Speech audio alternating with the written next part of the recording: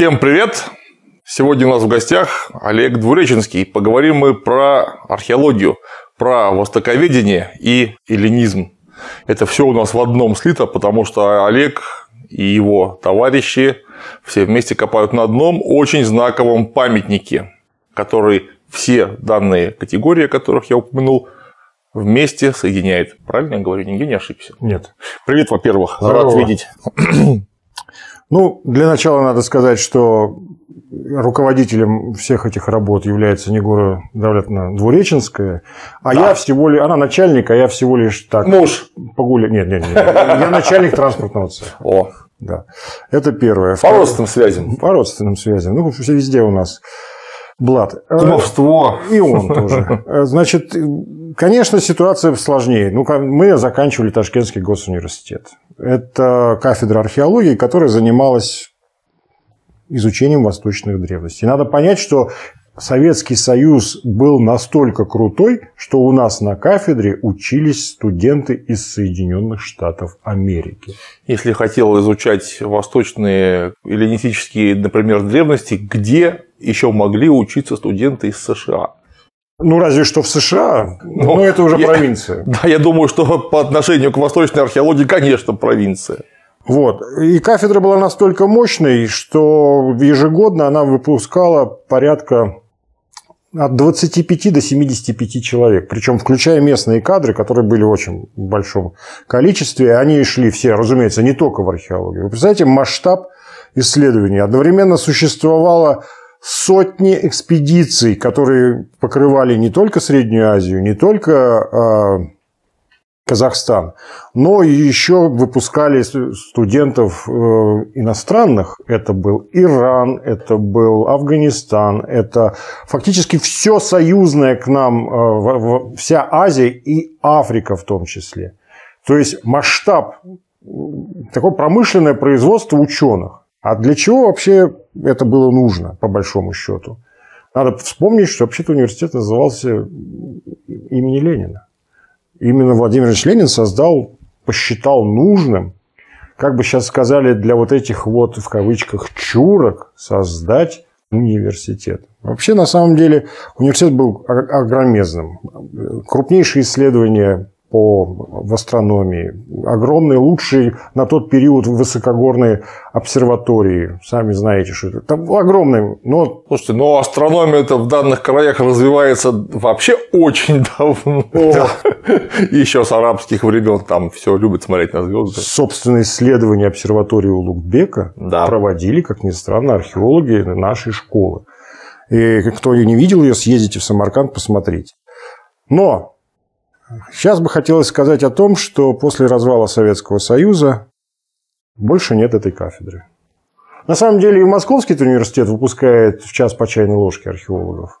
Да и вообще, по большому счету, вот для примера, крупнейший центр исследований Востока и вообще эллинизма, и вообще вот, э, восточной истории или археологии, Франция, безусловно, в Сирии. Вот она, допустим, до развала Советского Союза издавала ежегодно, начиная с послевоенных и довоенных времен, четыре журнала крупных, толстых еже- ежегодно. Так точно. Потом журнал «Сирия» назывался, «Сурия». Потом постепенно, год за годом, свелось все к одному журналу. Потом к одному, условно говоря, там, в 3-4 года. Ну, а потом война, и больше нет французской миссии ни в Сирии, ни в Ираке, и нигде. И наша российская миссия, по большому счету, тоже закончилась. Ну, развал Советского Союза закончилась. И что вы думаете? Всю эту благословенную нашу братскую Среднюю Азию заполонили французы, американцы, китайцы, японцы, чехи, Немцы, поляки, англичане. немцы. С англичанами хуже. Я вот не помню, были там англичане или нет. Но, по большому счету, и как это все преподносилось? Ну, варварские русские археологи, а вот мы теперь сейчас все сделаем. Как надо, правильно надо. сделаем. Причем выдающиеся исследователи, которые ра- работали в Москве, они возмущались, писали, вы что делаете? Вы просто передираете наши диссертации, которые писались в Советском Союзе, и даже не ссылаетесь на них. Вот так уничтожалось великое восточное э, востоковедение, русское востоковедение. Оно русское, оно еще досоветское. Так оно уничтожалось. И оно уничтожалось, по большому счету, все эти годы. За последнее время осталось 2-3, да не больше, э, экспедиции. Причем, когда я говорю 2-3, это по большому счету э, одна из них наша, которая долгое время существовала за счет э, финансирования наших, нашей семьи.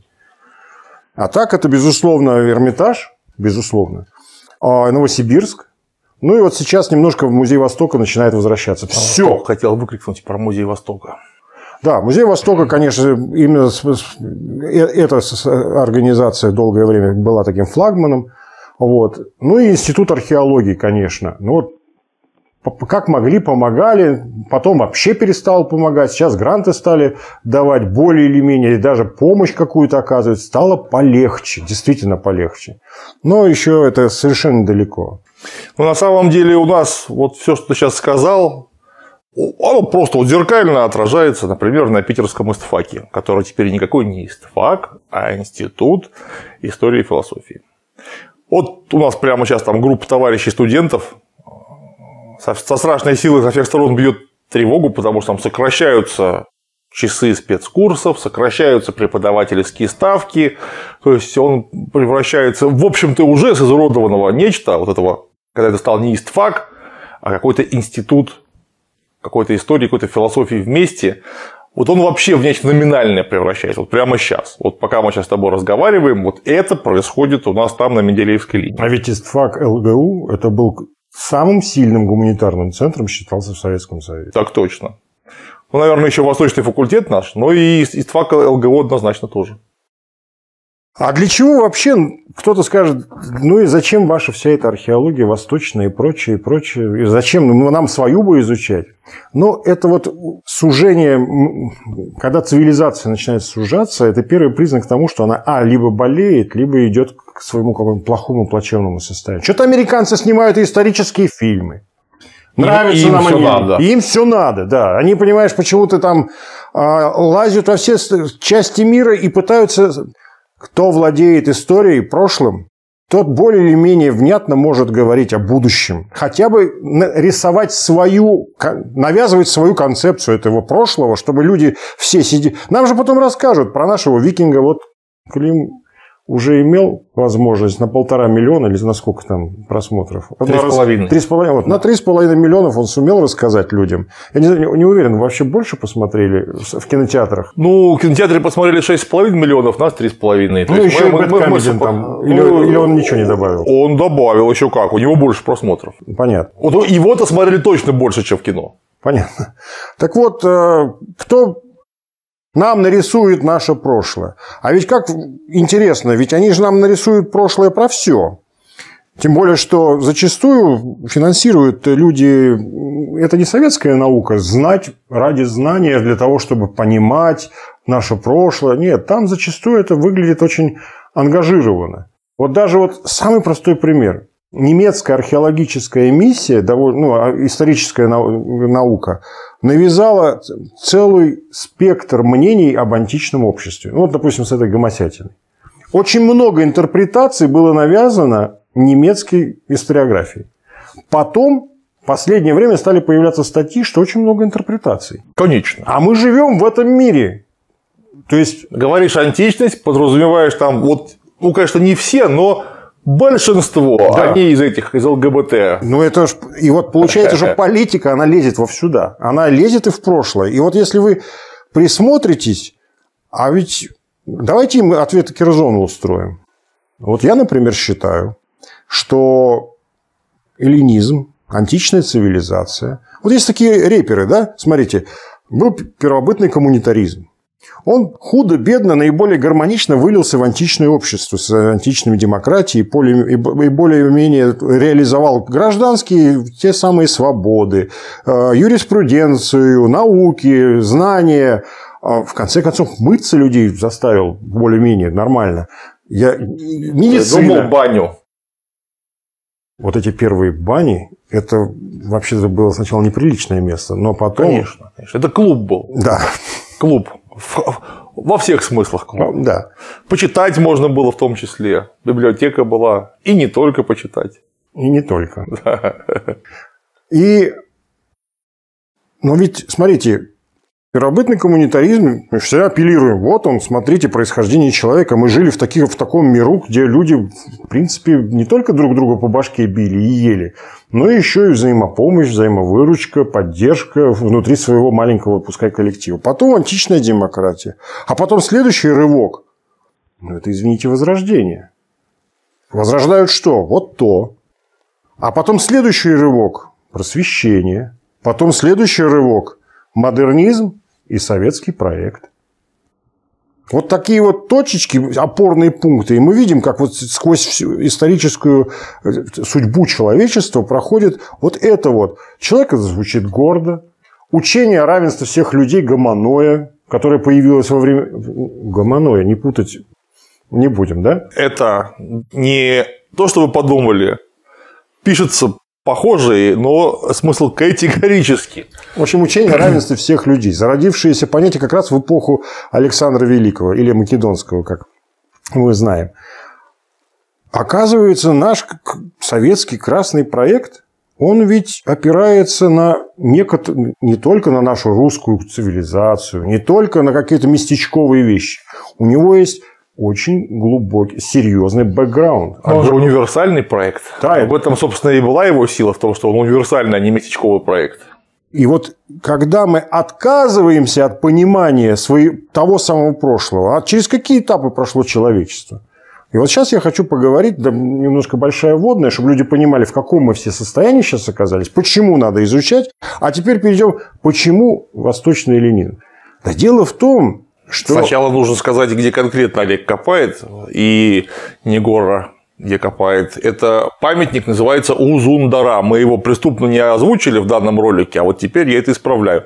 Узундара – это граница Узбекистана и Афганистана, правильно? Это граница, на самом деле, это, это рядом там, да, да. это э, в 90 километрах в горной цепи между Туркменией и и Узбекистаном вот проходит эта граница, она фактически северо, северная часть. Это Бактрия бывшая. Бактрия, да, северная граница Бактрии. Но важно другое, что ведь сам по себе памятник выбирается археологом не просто так. Есть люди, которые просто вот накопай. Ну, прикольно, интересно, он исследует. Есть люди, которые идут от общего к частного, есть кто идет от частного к общему. У нас была задача, ну, прежде всего, у Негоры Двуреченской, это попытаться разобраться с тем, что же такое восточный эллинизм. Ведь долгое время вообще никто не признавал, просто говорили греческий миф, бактрийский миф. Ну, нет ничего. Мы читаем в летописях о том, что там театры были. Где театры? В Пакистане, в Афганистане, были какие-то... Афганцы знатные театралы. Театралы. Причем размеры театров были такие, храмы стояли, палестры, где люди занимались вполне себе. Полисы греческие были. Елки-палки, мы все это читаем, и в голове у многих не укладывается. Где? В Афганистане? Это вот где вот... Маджахеды? Да, вот это все. Зачем? Не может быть. А как они вообще туда дошли? А что, оказывается, мир когда-то был вот такой? То есть не только вот есть цивилизованный Запад и Чуркистаны, а оказывается, собственно, расцвет культуры порой происходил, когда соединилась на Европа синтезе, и Азия. На синтезе. И это был Александр Великий. Он создал эту империю. Но представить ее, кроме как в письменных документах, зачастую археологи не могут. Почему? Потому что, ну, понятно, там вот в Македонии можно копать, но там мы видим все-таки то, из чего ушло. Ну, классическая Греция. Да. Ну, не совсем, потому что Македония это не совсем класс... Не, ну понятно, да, это да. же зафисали и получается да, вообще. Да. А вот империя эта гигантская, которая реально создала, все говорят, ой, он, он умер и все развалилось. Ребят, а ну, конечно, Политическое единство развалилось, да, безусловно. Но это был колоссальный социальный, культурный, научный, человеческий рывок в истории человечества. Ну уж давайте так, по-хорошему говоря, христианство появилось только потому, что в свое время Иудею завоевали селевкиды. И принесли с собой ну, какой-то гигантский сплав абсолютно чуждых для данной территории культур, которые слились в нечто ну, что теперь, в общем-то, дало некое объединяющее культурное э, э, общее всему миру фактически, потому что, как ни крути, европейская культура, она христианская, а родилась она именно там. При этом надо понять, что предтеча Великой Римской империи, конечно, это был вот этот вот, вот этот эллинизм. И крупнейшая империя это была империя Селевка, Селевкидов.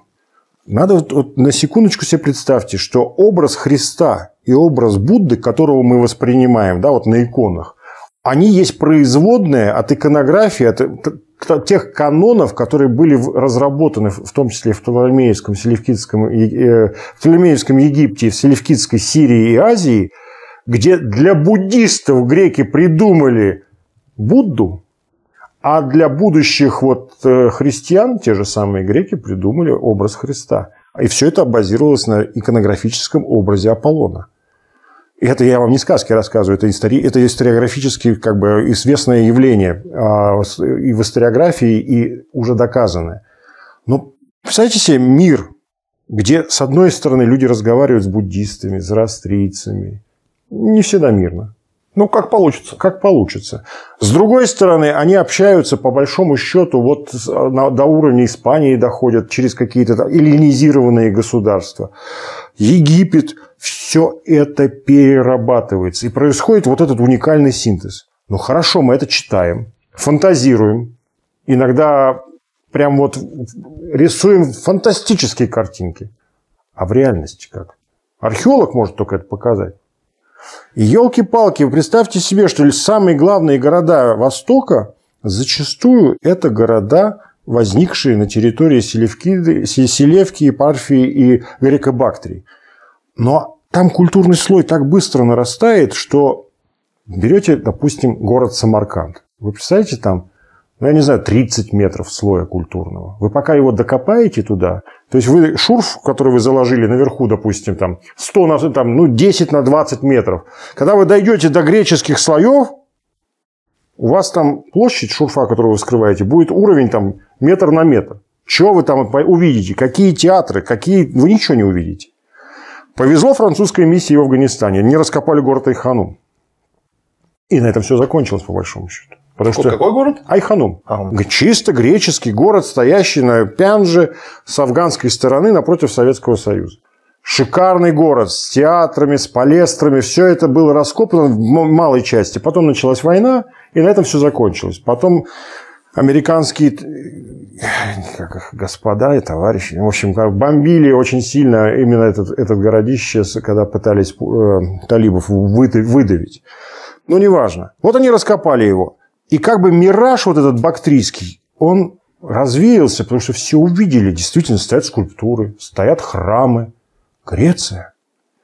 Но она необычная. Она вместила в себя всю Евразию. Всю. На этом все закончилось. Шурфы какие-то, какие-то комплексы. И мы задумали о том, что... А я уже рассказал вначале, что археологическая миссия сворачивается. Французы изучают там афросиап, копают, но как-то все это очень скомкано. Нет результата. И вот представьте себе в горах, город Двуреченское, на УАЗике, вместе с вашей покорной слугой, обнаруживают ранее известную гипотетическую крепость. Ее, она была даже нарисована, но никто на ней не работал, не копал, ни разу землю, ни лопату не воткнул. И материальную культуру с нее никто не собрал. Но увидели крепость в горах на высоте 2000 метров. И когда мы ее увидели, мы поняли, черт возьми, перед нами просто стоят стены. Начни копать, высота стен достигает от 3 до 6 метров. Это чисто гарнизонная пограничная крепость. Сколько? 4 гектара, кажется, да? 1,2 гектара площадью. А... Цитадель. Цитадель. Ну, это цитадель, она на самом деле и сама крепость. Но мы, кроме того, обнаружили, что по всем горам от, условно говоря, на 90 километров до реки идут цепочки крепостных стен – которые являются Великой Бактрийской стеной. Собственно, вот эти великие мыслители Селевкидской империи, они понимали, что оазисы надо обнести как Великой Китайской стеной и сетью крепостей, а самое главное, чтобы ограничить их от кочевников казахстанских, грубо говоря. Ну, тогда не было, конечно, Казахстана. И когда мы все это увидели, мы онемели, потому что, а, нет никаких культурных слоев 30 метров над этим. Все как яичко лежит. То есть одно законсервировано. Полностью. Как вот они погибла, как она погибла, так и стоит. И мы поняли, что это сенсация мирового уровня. ЮНЕСКО уже сразу этим заинтересовалась. И мы просто долгое время не могли убедить наши там, фонды и прочее, чтобы нас просто начали финансировать. И мы увидели воинов, их быт, их жизнь.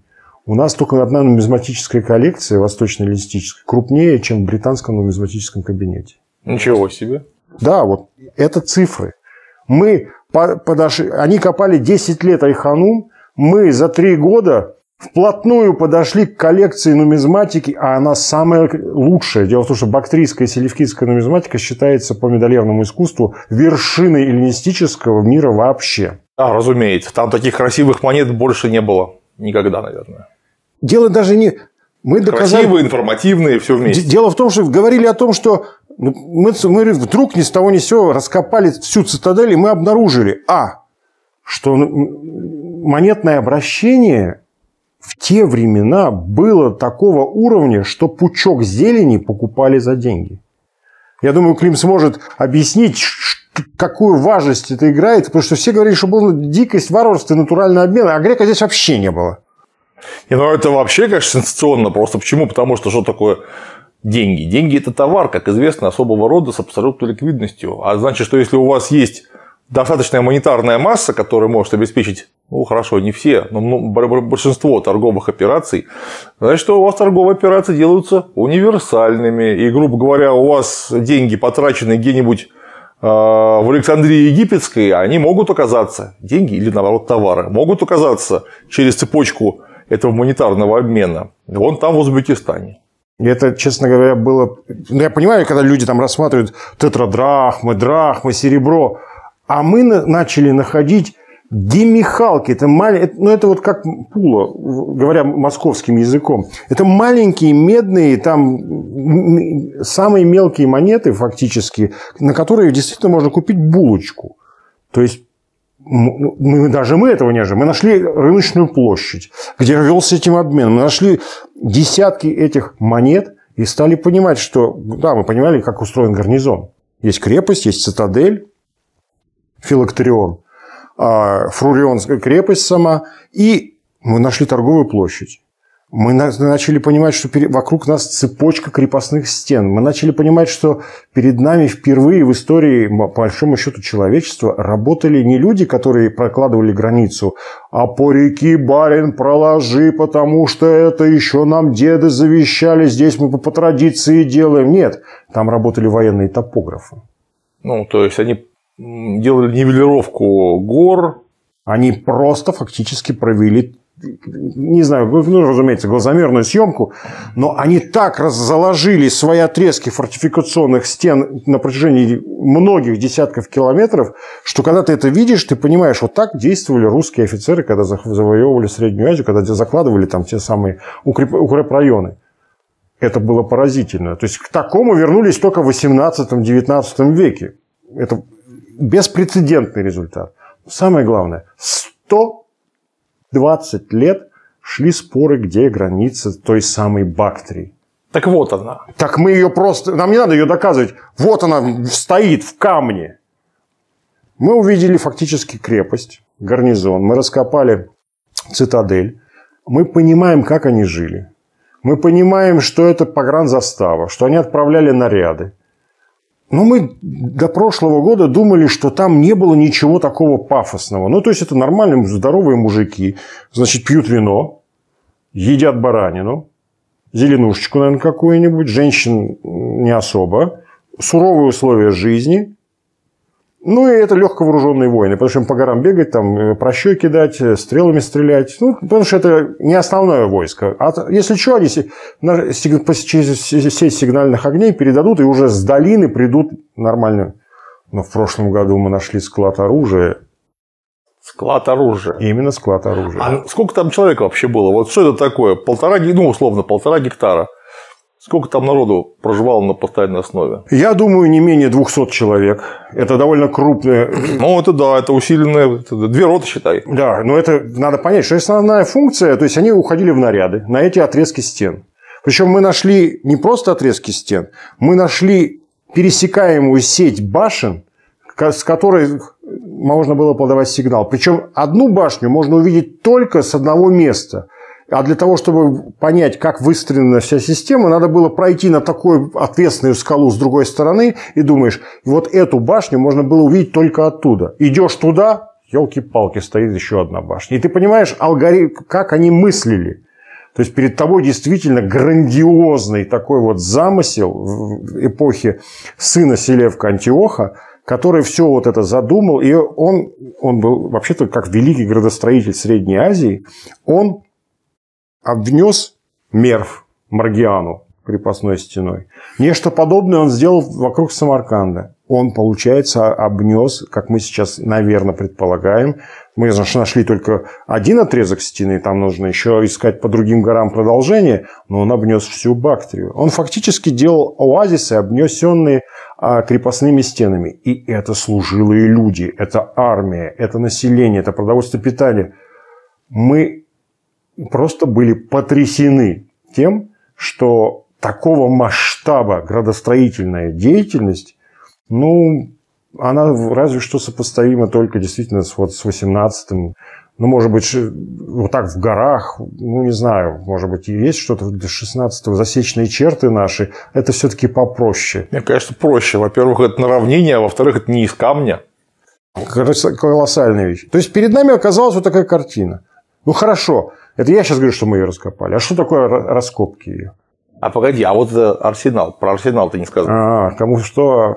Ну уж, извините, так, такое у меня повреждение психики, будьте снисходительны. Ну, из арсенала могу сказать, что мы зафиксировали скопление, прежде всего, стационарно лежащих э, наконечников стрел, в, то, в токи и дротики, а вток – это тылье древкового оружия, неважно, копья, дротика, алибарды. Вот сзади это оформлялось в виде такой конического острия. Большое количество странного вида металлических пластин и два нащечника.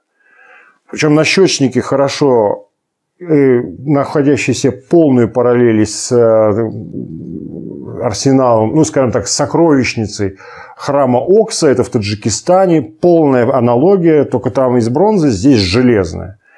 Мы не ожидали вообще встретить, собственно, нащечник вообще это до такого времени, а это на первой половине третьего века а, до нашей эры. То есть перед нами действительно появились а, образцы защитного вооружения, которые только детали мы могли когда-то только предполагать. Ну и большое количество металлических пластин. Я лично до сих пор считаю, что это фактически такие вот а, а аналоги тех самых... Если вот кто-нибудь видел доспех э, Филиппа, второго, то есть отца Александра. Это которые звергины, да. якобы Филиппа. Да. Вот эти вот крупные, то есть это еще до мускульные доспехи, э, которые распространились как раз с третьего века, вот, э, когда перед нами керасы такие характерные, эллинистические, они вот выглядят вот в виде таких вот пластин с характерными следами крепления. Возможно, что перед нами есть следы этого доспеха. Дело в том, что железо это еще не чистилось. Не чистилось. Как выглядело Надо посмотреть, я бы с удовольствием поучаствовал. Ну, я в доспехах э, что-то понимаю. Ласково просим. А. Очень. Надо же смотреть. Так вот. точно. Надо понять, что сама, сама крепость выглядела следующим образом. Это две, два, две стены с внутренним коридором, с вынесенными басти... Э, крупными башнями, Высота башен по скромным оценкам достигала... Вот если вот хотите представить, как она выглядела, едете на русские крепости э, Псковщины. По фактуре камня, по манере кладки, по мощности башен, и, конечно, стены слабее. Чем, ну, у Зандаря никуда как сильнее. Они достигают 9,5 метров толщиной. Толщиной. Толщиной. А-то против кого они такое строили-то? Забавный вопрос. Такое ощущение, что империя просто напряглась, потому что надо было... Ну уж мы так привыкли, мы всегда так делали. То есть у нас стена 3,5 метра, 3,5 метра, А здесь, почему она забутованная, и здесь вот этот вот военный коридор. Она двухэтажная, вся она с бойницами, и через э, определенное расстояние идут э, гигантские башни. То есть некоторые башни до сих пор, то даже страшно к ним подступиться. То есть мы понимаем, что она сейчас, вот, ну, условно говоря, ты стоишь у подножья, она ну, метров 4-5 в развале. Но ты же понимаешь, что это осыпи. А если ну, метров 15. Ну, 15 вряд ли, думаю, метров 6 э, высотой они, они были. 6-7, э, но надо понять, что вот, вот, вот Порховскую крепость, посмотрите, она сильно меньше. Это очень грандиозное сооружение с сигнальными огнями. Там ущ... они перекрывают ущелье, чтобы нельзя было перейти. Они топографически вписаны так, чтобы никак нельзя было обойти. И вокруг идут вот эти отрезки стен. Фактически люди служили, отправляли людей а, нести гарнизон. Умное слово вспомнил. Синтагма, 256 человек. Ух ты. Это тактическое звено низшее македонской фаланги. Но э, там не стоит ожидать, конечно, фалангитов, потому что это все-таки, наверное, что-то ближе к пилтастам. Э, не, ну понятно. Но все да. равно там по численности, я так понимаю, что какая-то у них это вот условная рота получается. Да, потому что такую территорию, и надо понять, что надо искать еще. Мы, это, наверное, да, это погранзастава. Но есть где-то погранотряд потому что он, скорее всего, в долине. И мы понимаем, где, наверное, это стоит искать. Но там стоит огромный памятник, и у него высота культурных отложений тоже составляет, дай Боже, копать это почти нереально. В этом уникальность. И еще и опасность, потому что как только узнали о вот таком вот археологическом памятнике из России, из европейщины, поехали любители Детекторного поиска, Детекторного как это называется. Поиска, да. Это так ну, ласково мародеров, называемых гробокопателей. Да, надо сказать, что мы сразу зафиксировали, то есть, и причем наши, те, кто нам помогает, местные товарищи, ну, обычные жители сельские, которые реально участвуют со всей любовью к этому делу, они зафиксировали людей, ловили. Ну, опасно, что приезжали и люди из европейщины, махали удостоверениями. Вот. А по информации нашей много было из Новосибирска, господ э, любителей, которых надо отстреливать, как бешеных собак. Это, это, это очень нетолерантная фраза, я понимаю. Вот. Перед нами колоссальный, открытый музей, то есть э, музей под открытым небом. Копать его очень опасно и тяжело, потому что каждый день приходится поднимать воду, еду, там нет ни света, как вы понимаете, ничего нет, вообще ничего нет. Там нет воды, главное. Это дрова, вода, еда. И мы построили там свой лагерь, свой город, в котором работает от 25 до там, 35-40 человек. Всех их надо снабжать. И два года это было очень тяжело. Бюджет составлял 22 тысячи долларов, только которые мы могли собрать, зарабатывать. Потому что ну, всем надо платить. Это самолеты, это машины, их надо снаряжать. Это очень... Я лично считаю, что в нашей отечественной археологии это один из самых топовых памятников, потому что он сразу ответил на вопрос, а, где граница? О денежном обращении, о комплексе вооружения, о комплексе керамики, о фортификации, о вообще таком явлении, как пограничная фортификация эпохи эллинизма так далеко от метрополии, грубо говоря эти, даже вот эти вещи, которые мы сейчас получили на сегодняшний день, это вещи, которые разруливают вопросы в науке, которые существовали по 100-150 лет. Это на самом деле крайне редкий случай такой, потому что вот в свое время, как у нас была на Готланде битва на Висбе, при Висбе, которая стала школой фактически исторического оружеведения мирового, ну, по крайней мере, средневекового уж точно. Так вот, например, вот этот э, памятник, он, конечно, не только про военную историю, но вообще про историю. Потому что он э, чистый, законсервированный, богат. Это же редкость большая в археологии. Потому что, как правило, памятник, он что, сверху что-нибудь построили, да, американцы уронили бомбу, сверху это все починили, тут, тут выкопали сортир, потом через все это, как вот в Гнездово, проложили мост. А вот теперь копайте. Мы ходим по цитадели сейчас, как вот в Помпею ходят. Потому что мы еще и проводим реконструкцию. То есть мы фактически докладываем стены для того, чтобы, ну так как, понятное дело, глиняного то есть цементного раствора не было тогда. Все мы, обваливалось. Да, мы укрепляем, выстраиваем сейчас по цитадели можно просто гулять. Вот просто гулять, как вот по типичным эллинистическим памятникам. При этом, в отличие от памятников при Черноморье, где действительно вот так вот много одно на другом, там единая планировка, единый замысел и единое... Ну, просто ты ходишь так, как оно задумалось.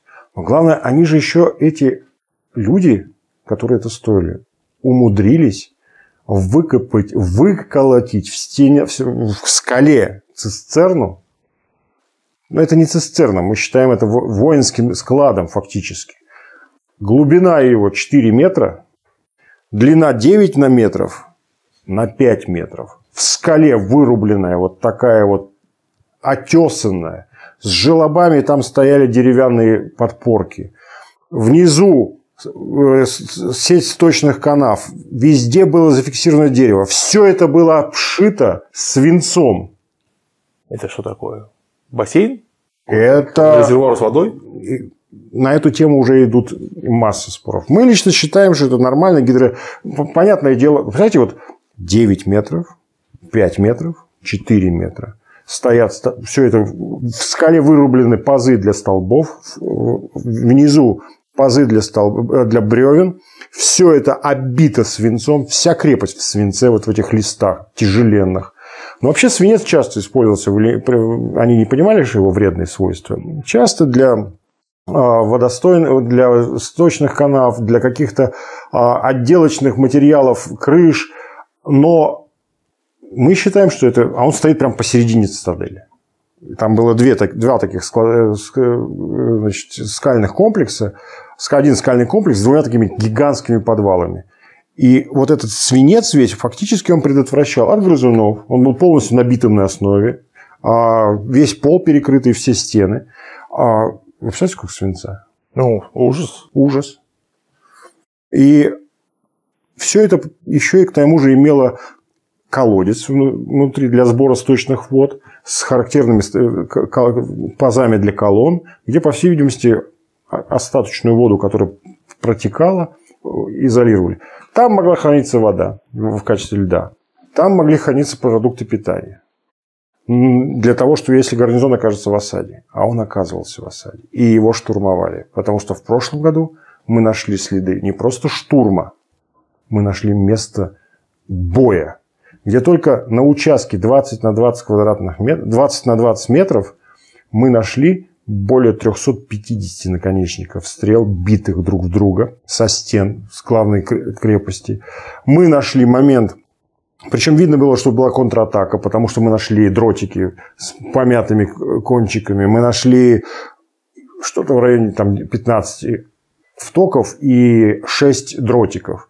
Мы нашли фрагменты копья, и я просто боюсь еще думать, сколько там ядер прощи, потому что мы нашли складское помещение с ядрами прощи, которое как оставили, так и лежит в башне. Какой материал? Свинцовый, оловянный, каменный? А, ну, вообще для Средней Азии характерна необожженная глина. Но здесь это было бессмысленно, так как было куча камней, которые они просто обрабатывали в, при, в очень грубой форме. Но они были все примерно одинакового веса и размера. Этого было достаточно. Мы зафиксировали следы применение метательных орудий. Потому что мы не просто нашли башню, которую там снесли, мы нашли огромные ядра заготовки. Ну, вот это размером, там, я не знаю, весом, наверное, килограмм на 7. Вот такая вот. Ну, то есть, да, каких-то больших аркбаллист досадных. Аркбаллист, которые, по всей видимости, стояли на угловых башнях. И мы даже примерно представляем, куда велся огонь, потому что зона наступления кочевых а те самые противники кочевые, которые должны были снести Бактрию, мы примерно знаем, где они жили. Они кочевали от э, Оренбурга до Приоралья. Наши пацанчики. Наши.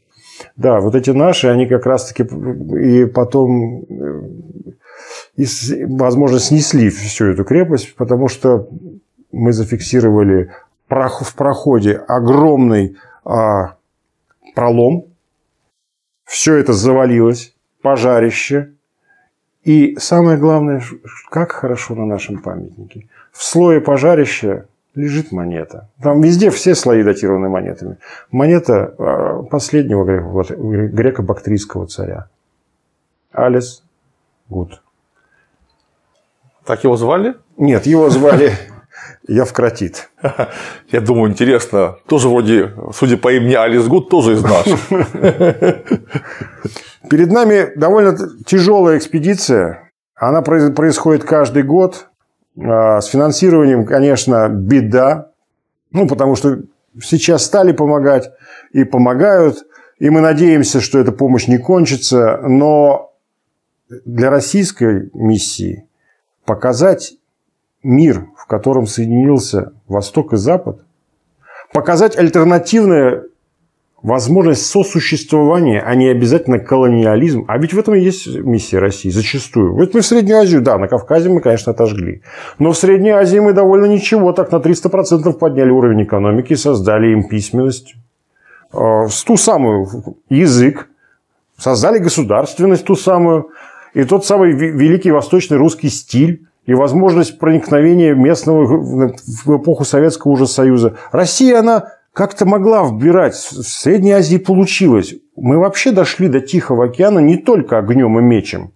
Мы бы огнем и мечем не дошли до Тихого океана, если бы делали это только огнем и мечем, ну просто потому, что что такое Россия времен Ивана Грозного, ну, конечно, эта региональная держава была серьезнейшая, но она же из региональной превратилась в универсальную евразийскую, это невозможно было сделать огнем и мечом при таких ресурсах.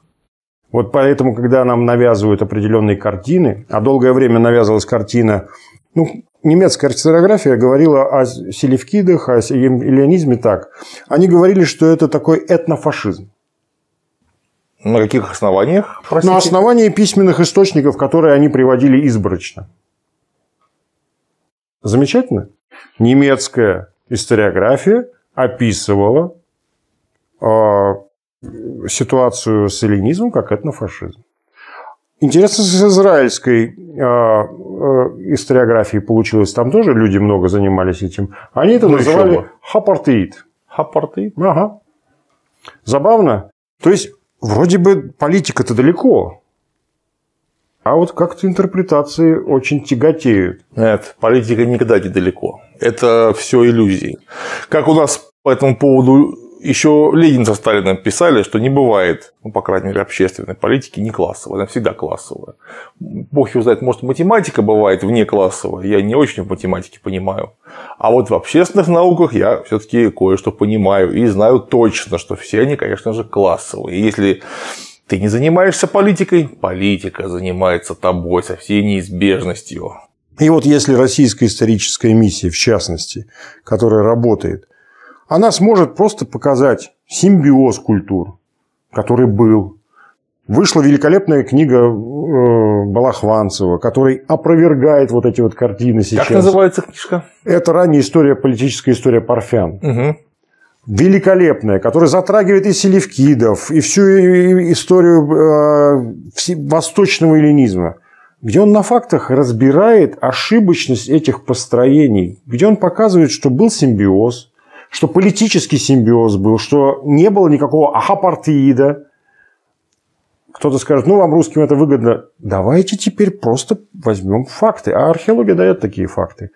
Поэтому экспедиция Узундара – это не просто археологическая экспедиция для удовлетворения собственного любопытства за свой счет. Это не совсем так. И, думаю, пройдут годы, и люди оценят, что эллинизм как явление для нас, в частности для россиян, не люблю это слово, э, для бывших советских людей или настоящих советских людей, это место, где надо присматриваться, потому что там было много предтечи того, чем потом стала русская цивилизация. Мы не только у татар все взяли, мы еще взяли из у Византии. А Византия многое взяла. Естественно.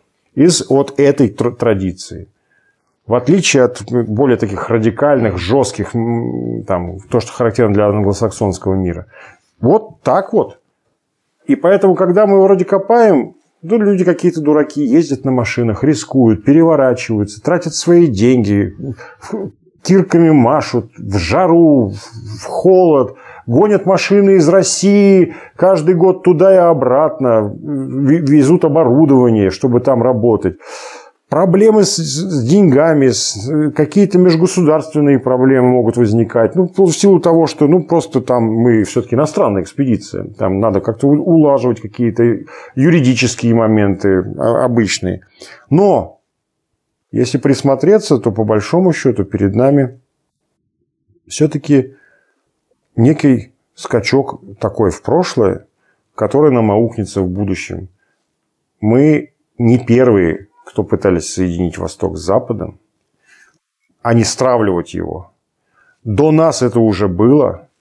Они считали, что равенство всех людей на Земле, учение Гомонои, они создали выдающуюся культуру, которая до сих пор, которой мы пользуемся, и именно материальное воплощение этой культуры есть для нас доказательство того, что все это не сказки.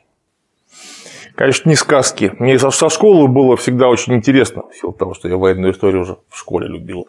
Было очень интересно, как вот чувствовал себя какой-нибудь этот участник э, похода, великого похода Александра, который там с пикой прошагал из лица в лохорку, условно говоря, и кто же были эти люди? Они же, в общем, как э, все люди полисной культуры, были крайне ограничены э, в своих географических представлениях, э, в своем культурном мире, потому что вот полис – это мир. Урбис и Торбис, как говорили римляне. А тут он, да, там все, конечно, было в Греции, прямо скажем, было на что посмотреть, никуда не уезжая, уж к тому-то времени. Но когда эти парни оказались где-нибудь там после Гранника, после битвы при Граннике, оказались просто в э, ставке царя Дария, и где у них одних царских шмоток, извините, там было на 10 тысяч талантов, в то время как казна каких-нибудь Афин, там это там полторы тысячи талантов. А тут только одежд на такую сумму. Что просто чувствовал этот вот парень, который ничего вообще не видел, кроме э, значит, своего этого полиса, и там еще 50 километров в сторону, там какая-нибудь деревенька, где он, значит, овец пасет. Тут его, значит, забрили ему лоб, дали ему пику, научили маршировать, отправили на войну. И там он просто увидел мир вообще другой, который неизмеримо больше, грандиозно богаче, чем греческий мир, а, грандиозно многолюднее. Ну, то что такое-то Греция? Ну, там же мало народу живет, ну, фактически. А тут тебе и такой язык, и этакий язык. Тут тебе и кочевник есть, тут тебе и оседлые э, земледельцы, тут какие-то города, просто немыслимых размеров эти города. Какое-то богатство совершенно адское. Я представляю себе, что эти люди испытали вот на самом низовом уровне. Я уж молчу о том, что Александр Македонский это сам испытал. Когда ему в 20... Он был очень отмороженный, в хорошем смысле слова, на всю голову. Ну, когда ему в 20, там сколько, два года в Египте сообщили, что ты бог на самом деле. Да. Что с молодым человеком произошло? Ты думаешь, ты царь? Нет, у нас цари не правят. Востока Бог имеет право править. Ты нас завоевал, теперь ты Бог. Все. Понятно, что они не могли это все поглотить, они могли только синтезироваться с э, данным э, пластом, который был просто мощнее одной Греции там, в сотни раз. Дело в том, что Александр, когда все это начинал, он ведь концепция Филиппа была очень простая. Мы сейчас вот э, накажем, отвоюем э, греческие города, э, которые были подчинены персами, и как бы получим сатисфакцию. Он был реально отмороженный. Он решил, нет, весь мир будет единым государством. Мы потом переженим всех, потом я создам новую одежду для всего человечества, он же ведь, греки его обвиняли, что он там в персидское оделся. Нет, он, он просто создавал новую, синтезированную одежду. Мы тут а потом надо понять, что это еще домонотеистические религии, в том смысле, как религии книги, которые мы... Поэтому все боги, как бы со всеми надо взаимодействовать, со всеми надо разговаривать. Ну, правда, с растрицем не повезло. Не надо вот кости очищать было при Александре. Ему что-то это очень собакам отдавать. Ему это очень не понравилось. Он, ну ничего, этот казус бывал. А тут вот все это многообразие богов, верований, философий, культур, тысяч, тысячелетней традиции, он во все это попал, Ну, конечно, крыша немножко от... Ну, он оставался до конца героем. Разумеется. Это удивительный человек, конечно, потому что это был, ну, по крайней мере, в данном регионе, это был первый человек именно универсального мышления, который просто допер, как потом через много-много веков Чингисхан, что если все это не объединить, они так и будут драться до бесконечности. И все будут разваливать раз за разом. Поэтому нужно убить всех плохих, чтобы жили все хорошие. И когда не останется больше врагов, наступит мир. А ты знаешь, вот наследие вот среднеазиатских народов, с которыми, с которыми общаюсь, моих товарищей, друзей, э, вот в обычных кишлаках все время сталкиваешься Искандер, Зулкарнайн. Да. Вот что-то про Чингисхана, ну, Тимур, да, он крутой, конечно, он вообще много, но вот мост Искандера, кишлак Македон, то есть все время сталкиваешься с таким проявлением в народе, в культуре. Взять все вот эти вот персидские, иранские э, и даже... Искандер Зулькардань, кто не понимает, это Искандер Александр Рогатый, значит. Ну, шлем у него такой да. был. И когда мы все вот это вот понимаем, что поколения прошли, а люди до сих пор. Мы македонцы. Что увидит голубые глаза? Мы македонцы. Да что ж вы такое, ребят? Ну, что же он так, этот Александр? Ну, жил он в четвертом веке-то, ну, бог с ним, то уже хватит уже. До сих пор вот, что на Кавказе, что здесь. Почему-то, несмотря на катастрофу, военную катастрофу, которая случилась, потому что он принес поражение, два года он воевал там, по, по плодам делов судите их. В народе осталось о нем очень хорошее воспоминание. В целом и общем. Мост 16 века, да это Александр построил. Что реально стоит мост 16 века. Мост Александра. Ни, ни, никого не смущает. Ну, а кто, как кто еще мог такой построить? Да нет, ну конечно, какие еще могут быть варианты. Ну вот, поэтому, когда ты говоришь, что уже даже мы копаем сразу после него, так сказать, сына, его полководец Селевка, его сын Антиох, а все равно вот это вот веяние, ты понимаешь, пришли люди, они есть по-другому стали. Ну, все стало по-другому. Ванны поставили. В крепости три штуки ванны найдены. Купаются. Рядом еще одна крепость Курганзол. Целая ванна стоит. Купаться стали в ваннах. Да что ж вы такое принесли сюда все? И понятно, что здесь были не только греки, скорее всего. Вот, вот этот симбиоз был. То есть это была такая революция я даже не знаю, мы опять же живем, что у нас Талибан, ИГИЛ, да, взрывают, да? Да. Это пипец. Не, ну, конечно, спасать нужно все, разумеется. Потому что эти ребята, вот тут-то как раз все в порядке с этнофашизмом и апартеидом. Эти ребята, это же даже не настоящий, по большому счету, ислам, это ислам, тренированный современными фашистами. Абсолютно точно. Абсолютно точно. Он к традиционному исламу никакого отношения не имеет, потому что вообще ислам в своем начале это была одна из самых вообще толерантных ко всем окружающим религий. Ну, они, ну, ну, ну, мы не... Да, мусульмане резали, без вопросов. Но они в первую очередь резали своих. Ну, достаточно сказать, что 9 века ислам это все-таки Вся античная традиция, которую мы сейчас знаем, сохранена в основном Конечно. Благодаря исламскому ренессансу. Конечно. Он был первее, чем европейский ренессанс. А он базировался в том числе... На эллинизме он На эллинизме. Это потрясающе все. Ну, мне кажется, я немножко сумбурно, но я просто не готов был сегодня вот так об Узундаре, но тем не менее, спасибо тебе, что ты спросил. Нет, это мне было очень интересно, я уже год э, пытался с тобой об этом поговорить, потому что ну, из первых рук больше не у кого спросить. Я знаю, что там будут такие раскопки. Более того, мы это мельком и с тобой, и с Негорой обсуждали раза три э, за предыдущие годы. Ну, не показывал какие-то картинки интересные оттуда, но я не, просто не понимал э, общего контекста, что происходит теперь стало гораздо яснее. Надеюсь, вам тоже стало гораздо яснее. Это ну, мы сейчас живем фактически в эпоху великих археологических открытий. Это как в свое время пришли мы не раскопали Трою, лучше бы, конечно, не раскапывали. Да. Вот. Но тем не менее, как в свое время открыли великую русскую, ну, раннерусскую цивилизацию в Гнездово, в, Смоле, в Смоленске, в Чернигове, в Шестовицах, в Ярославле, там, в Тимирево. Вот мы примерно сейчас живем в этот момент. Вы ловите, между прочим, это очень редкий в истории случай. Вот так вот. Ну да. Спасибо большое. У вас прямо работа какая-то самоотверженная, невероятно делаете вещи. Не гора, тебе тоже огромное наше пролетарское спасибо. Что обращайтесь, чем сможем помочь, обязательно поможем. Памятник Узандара был открыт э, академиком Академии наук Республики Узбекистан Эдвардом Васильевичем Артвеладзе, выдающимся исследователем.